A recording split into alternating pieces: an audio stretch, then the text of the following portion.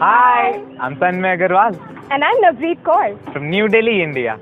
And we are youth leaders with Project Unify. Generation Unified is important to me because it is a great platform to bring ideas into existence. I've been associated with Special Olympics for the past three years. I don't know anyone who's specially able. In fact, my first interaction with children with ID was through Special Olympics, and since then, the journey has been fun.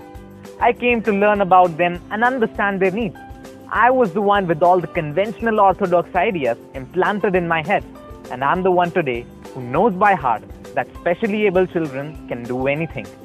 Through Generation Unified, we can turn our project into reality and change the perceptions of people in society, just like Special Olympics did to us. Generation Unified is important to me since I have been in close association with a number of people who are intellectually differently able.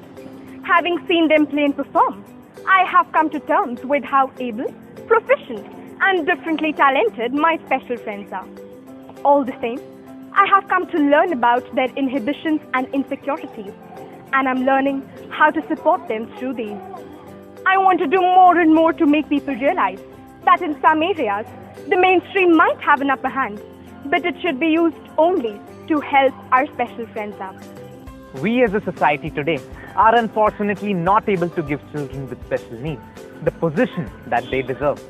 Learning from the leaders in the Youth Summit will empower us with tools with which we can carry out our agenda for unification of these children with the mainstream in a greater way.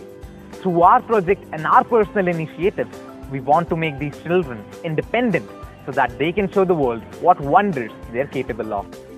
If I get this opportunity, I would love to delve deeper into the entire concept of inclusion and integration and learn from my fellow leaders their ideas to accomplish the same.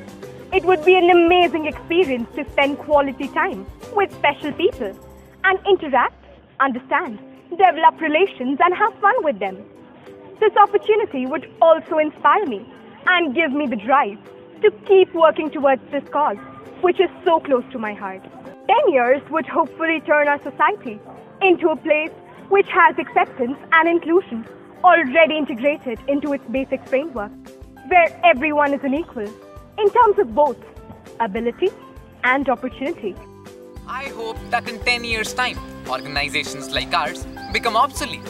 A society in which we don't need to tell people that all of us are equally capable, that people with ID are just like us. I wish it becomes a well known fact. The idea is a bit utopian, but it's my dream. With this, we'd like to conclude by saying that I choose not to place a diss in my ability because The only disability in life is a bad attitude.